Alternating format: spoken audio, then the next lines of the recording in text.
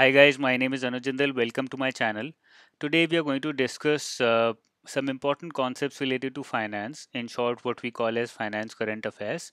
And these concepts as well as questions based on this which I'm going to discuss simultaneously are going to hold a lot of importance for the upcoming RBI and SEBI examinations. Uh, before we start, let's have a look at all the courses that you can avail, that you can use in case you're planning to start your preparations or if you're planning to complete your preparations right now immediately before the examination. All of you must be aware about the crash course which covers entire phase 1 plus entire phase 2 and it also covers revision which is presently going on. So you've already done your uh, phase 1 and phase 2 prep and you're willing to revise with me, you can enroll in the crash course. The second that I've launched recently specifically for revision, which a lot of students were demanding and asking for, is uh, are these two courses on which we have 50% discount going on right now. You can use this code special 50 for any of these courses. Now, what are the differences between these two courses? Uh, the 8001, which is going to cost you only rupees 4000 and GST is going to be inclusive. So I'm going to be paying the GST on this. Uh, includes phase 1 complete plus the ebook which itself costs around 800 now. And uh, it also includes past year papers. Uh, so these three things are included in this. It also includes uh, mock tests for phase 1 entire phase 1 uh, that means 10 mock tests for entire phase 1 it will have general awareness it will have static gk uh, okay it will have uh, quant reasoning and english all the videos all the content and the ebook as well.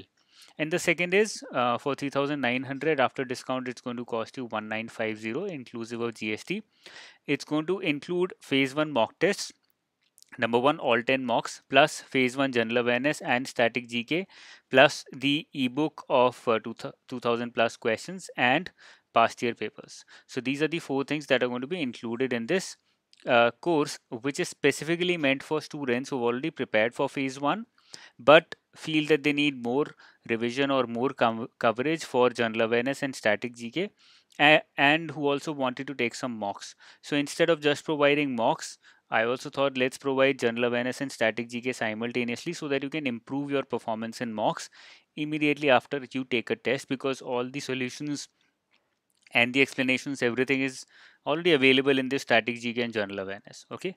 And the ebook which has been launched recently it's also included in this. Now that's a, heavy ebook which contains uh, more than 850 pages uh, a lot of practice questions of the level of RBI grade B okay? With this let us start with the session and we're going to be talking about some important concepts and fundamentals related to finance current affairs. So today we are going to be talking about sample registration survey SRS which has given its uh, uh, statistics for the year or for the time period 2013 to 2017 re very recently. Now this survey SRS is conducted uh, by Registrar General of India RGI. So this is something which you need to remember and some facts related to SRS survey for the uh, time period pertaining to 2013 to 17 it gives out the life expectancies and health conditions of women and men and try to compare them. So overall life expectancy has increased from 68.7 in the previous SRS to 69 years. Women's life expectancy has also increased to 70.4 and men's life expectancy has also increased to 67.8. So do remember the latest facts. You don't need to remember these facts. These are only for comparison here so that you can make some comparison on your own as well.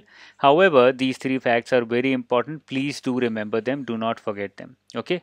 Now, having understood or having known uh, the life expectancy of men and women, let's understand and talk about life expectancy of women and men in separately for rural and urban areas. For urban areas, for women it is 73.7, for rural it is 69. For urban male, it is 71.2. For rural or in rural area, it is 66.4. So do remember these facts as well. So how many facts do we have? We have 69, 70.4 and 67.8. 69, 70.4 and 67.8. So 67.8 is the average here. 70.4 is the average here and overall average is 69 okay so you can cut these out can write as 70.4 now this 74.4 is calculated through 73.7 and 69 and this 67.8 is calculated through 71.2 and 66.4 the reasons have also been given, but I don't believe they hold a lot of importance, and that's why there's no point in discussing them. They're very obvious in nature improvement in sanitation, and uh, because of better housing, better education, the mortality rates have gone down, and because of increase in sanitation, the life expectancy has also gone up. Now, if we talk about different states, then the highest and worst life expectancy Delhi born males and Kerala born females have the highest life expectancy. Do remember this fact. And Chhattisgarh born males and Uttar Pradesh born females have the lowest or worst life expectancy. Please remember this fact as well. It's very important uh, because uh, normally these kinds of analysis are not made or if it or, or, if made they're not published but this time they've been published. Therefore they hold a lot of importance so do not forget them. Please do try and remember them as well. So you can highlight these things uh, note them down in your notes uh, so that you don't forget them at your later stage. Okay? All the very best. Take care